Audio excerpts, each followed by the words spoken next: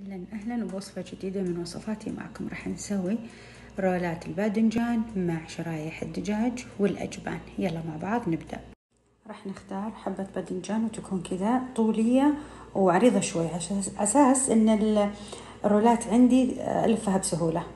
بتكون شرايح الباذنجان بهالشكل. راح أحطها على زيت الزيتون تتحمر من الجهتين. خليت الباذنجان يتحمر على الجنب ونجي هنا للمقلة الثاني أضفت له زيت زيتون وثوم مهروس.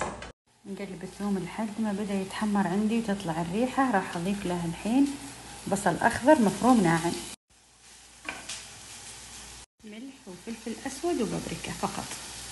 الإضافة اللذيذة الآن عندي هنا كور اللبنة مع قطع من جبن الفيلادلفيا وراح أقلبها لحد ما تنهرس عندي الكور والجبنة وتتداخل مع الدجاج. راح أضيف الآن عندي هنا صدر دجاج مسلوق فقط بموية ومنتف.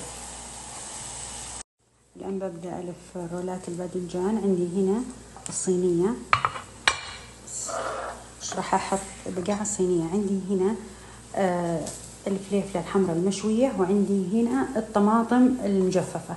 راح أضيف لهم بس شوية موية تخففهم وأرجع لكم. صارت عندي الفليفلة مع الطماطم المجففة بالشكل. هذا قوامها. أنا ما بيها تكون خفيفة مرة. بإمكانكم بعد بنات ترى تضيفون صوص البيتزا. راح أنزلها كذا بقاع الصينية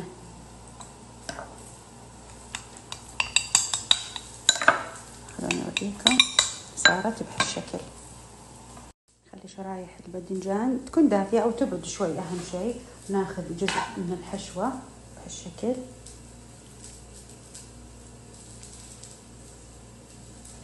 ونلفه رول. وعلى الصينية. خلصت الكمية كلها.